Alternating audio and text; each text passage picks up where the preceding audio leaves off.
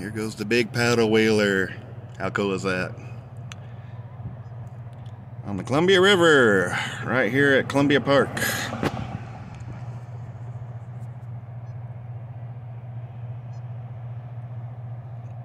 Glad I came through here right when it was happened to be here.